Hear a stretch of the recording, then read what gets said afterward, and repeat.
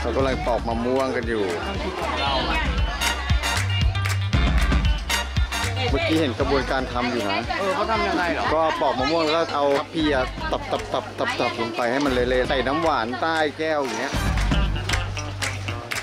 ตัดมะม่วงใส่แล้วเขย่าหน่อย แล้วก็เอามาให้เรากิน ไม่ได้ปั่นไม่ได้อะไรไม่ไม่หน้าตาก็จะออกมาเป็นชิ้นๆอย่างนี้ เออใช่นี่แหละใช่ป่ะเป็นไงอร่อยไหมโอ้อร่อยนะมันก็กินเนื้อมะม่วงนั่นแหละมะม่วงแช่เย็นลองกินดูลองกินดูแล้วมันเหมือนได้เนื้อมะม่วงเยอะดีเนาะได้เป็นชิ้นเลยอะรสหวานก็มาจากน้ำเชื่อมใช่ป่ะรสเค็มก็มาจากมือพี่เขา มันก็จะหวานหวานๆเค็มๆอร่อยดีสดชื่นเนาะหายเหนื่อยเลย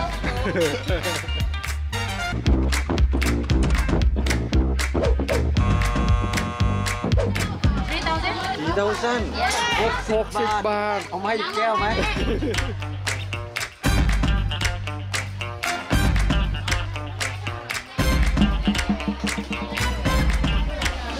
เอาเหรอทำไมหน้าตาเหมือนคิดนานจัง วันมอ นี่เราจะทำน้ำทุเรียนแล้วใช่ไหม Play hard at the end of the day. I got a little bit of change that takes the worries away. And if they're trying to stop us, yeah, we're pushing them back. ว้าวใส่นมด้วย ทานสอีกเข้าไปอีกเชฟกินบาเดโอ้ย Feeling like a winner, I'm on top of the world. I got everything I need, except for diamonds and pearls. I work hard, play hard. At the end of the day, I got a ดูไม่น่ากินเลยอะลองก่อนแล้วมันจะรู้จริงทุเรียน